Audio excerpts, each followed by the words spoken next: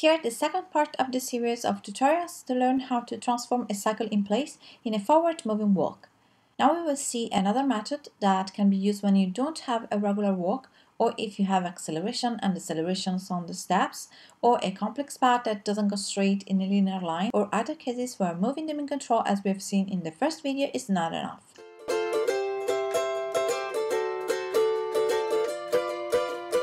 We can use locators on the feet to stack them on the ground.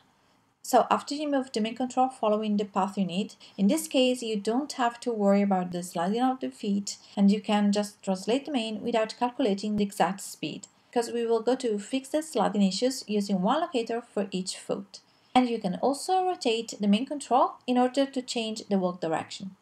The reason why we do this is that it's impossible to manually lock the feet on the ground because they move with the main control and the method we have seen in the previous tutorial doesn't work in this case because we have too many variations of speed and direction in this walk. So we need to constrain the foot to an independent object, like a locator, that is not influenced by the main control movements. If we parent the feet to the locators that are stuck on the ground, they will not slide anymore when they touch the ground and they will be independent from the main movement. So if we move the locator, the feet moves, but if we move the main control, the feet doesn't follow.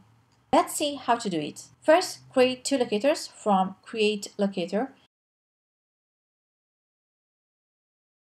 And be sure to turn on the locator visibility from the Show panel. And check the locator selectivity, the question mark, from the Selection Mask buttons. Then rename the locators if you want. For example, you can rename them left and right foot. Then position each locator on the feet, snapping them to each foot control. Constrain each locator to the foot control. First, select the foot control, then select the locator and constraint parent with all the axes on. So now the locators are dragged by the feet controls. So if we move the feet control, the locators follows. Now in the graph editor, bake each locator curve. Baking the animation, we add keyframe to every frames and now the constraints can be deleted because baking the animation will lose their effect because the feet animation is now transferred to the locators. And we can see now that locators and feet have the same animation. But the point is that we need that the feet will be dragged and controlled by the locators and not by the main control. So let's constrain the feet to the locators. So we do the opposite process we have done before. First, select the locator, then select the foot control and constraint parent with all the axes on. Do the same for the other foot. So the locators became the new feet controls. If we move them, the feet follows and the main control doesn't have effects on them anymore. But we, we didn't finish yet because we just transferred the feet movement on the locators, so we still have the feet sliding effect. To remove this, we select one locator and moving on the timeline, we go to find the first frame where the foot touches the ground and then we scroll up to the last frame where the foot is still touching the ground. And we delete all the keys between these two. Remember to use the locators, not the foot control.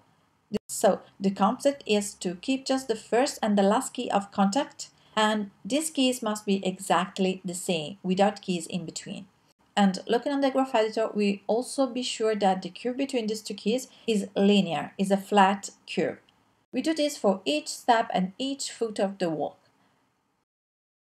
You could need to clean the transition when the foot leaves the ground or just before the contact pose to avoid any pop in the animation. At the end, you can bake the feet animation and delete the constraints and the locators. So now the foot control is not parented to the locators anymore, but is subordinate to the main control again. The final result is that the feet are always stuck on the ground without sliding and you can use any path you want for your walk, even the more complicated, but with this method will be easy to control. This was the second method to move forward a walk cycle or a run cycle and in the next and final video we will see how to transform an in-place cycle in a progressive cycle. Subscribe to my channel if you like and support this project of free animation lessons and tutorials by giving a like and sharing my videos.